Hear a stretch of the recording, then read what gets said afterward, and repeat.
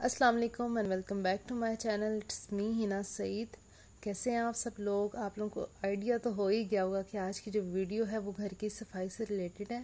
तो घर में हम ये लिक्विड किस तरह रेडी कर सकते हैं घर की डस्टिंग वगैरह करने के लिए? तो जो मैं अभी लिक्विड रेडी करने लगी हूँ इससे आप लोग भी ट्राई ज़रूर कीजिएगा। तो चलिए बिना टाइम वेस्ट किए चलते हैं अपनी वीडियो की तरफ़।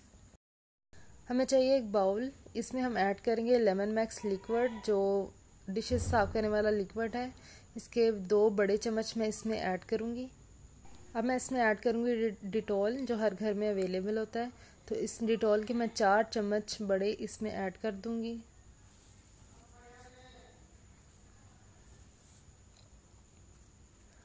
अब हमें चाहिए बेकिंग सोडा खाने का मीठा सोडा इसमें मैं डालूँगी दो चम्मच। अच्छा इसमें आपने ना विनेगर यानी कि सिरका भी ऐड करना है। मैं यहाँ पे ना क्लिप ऐड करना भूल गई थी तो अब मैंने इसे अच्छा सा एक थिक पेस्ट बना लिया है। तो एक गिलास मेरे पास पानी है तो इस पानी को मैं इस में ऐड कर दूँगी, ये एक लिक्विड आपका रेडी हो जाएगा। पानी डाल के इसे आपने अच्छे से मिक्स करना है। मिक्स करने के बाद ये लिक्विड रेडी है तो इसे आपने इस तरह की स्प्रे बोतल में, जो हर घर में होती है, आपने इस बोतल में इसे मिक्स डाल के अच्छे से मिक्स कर लेना है तो ये लिक्विड आपका रेडी हो जाएगा।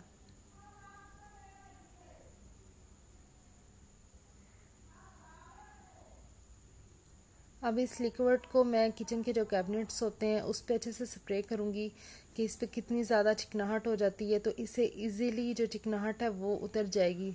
विनीगर आपने इसमें लाजमी ऐड करना है। मैं इसमें ऐड करना भूल गई थी यानी क्लिप वीडियो में क्लिप में डाला, मैं भूल गई थी, इसमें मैंने ऐड किया है विनीगर अब ये देखें किस तरह सारी चिकनाई उतरी है और मुझे मुश्किल भी नहीं हुई और इजीली सारी चिकनाई उतर गई है। इसी तरह मैंने सारे कैबिनेट साफ़ कर लिए हैं।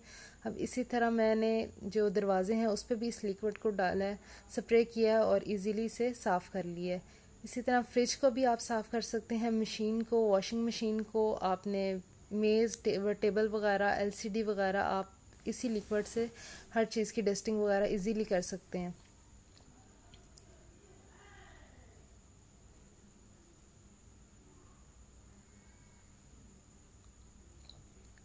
यहाँ पे मैं अब ग्रिल साफ़ करने लगी हूँ तो ग्रिल साफ़ करने के लिए मेरे पास ये ग्लिंट है। ये स्पेशली जो ग्रिल वगैरह है, उनको साफ़ करने के लिए इससे आपने मिरर वगैरह साफ़ नहीं करने।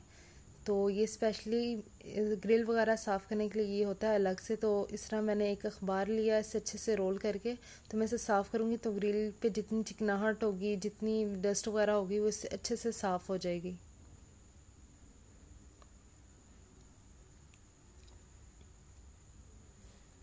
इसी तरह सारे ग्रिल को मैंने स्प्रे करके ग्लिंड से अच्छे से साफ़ कर लिया। अब लास्ट में हमारे पास जो डस्टर हैं, वो तो अच्छे से गंदे हो गए हैं बहुत ज़्यादा। तो मैंने लिए है नीम गर्म पानी, इन डस्टर्स को साफ़ करने के लिए। इसमें मैं ऐड करूँगी एक चम्मच बस हमें चाहिए शैम्पू का। इसे मैं इस पानी में अच्छे से मिक्स कर दूँगी और एक घंटे के लिए कपड़े डाल के एक घंटे के लिए इसे छोड़ दूँगी तो आप देखिएगा जितनी भी डस्ट, चिकनाहट वगैरह आपके कपड़ों पे होगी, डस्टर वगैरह पे, वो इजीली उतर जाएगी। और यहाँ पे होते हैं हमारे हैक्स कंप्लीट वीडियो अच्छी लगे तो वीडियो को लाइक कीजिएगा शेयर कीजिएगा और चैनल को सब्सक्राइब नहीं किया तो चैनल को सब्सक्राइब करके बेल आइकन को प्रेस कर दीजिएगा। मिलती हूँ आपसे नेक्स्ट वीडियो में, तब तक के लिए अल्लाह हाफिज़।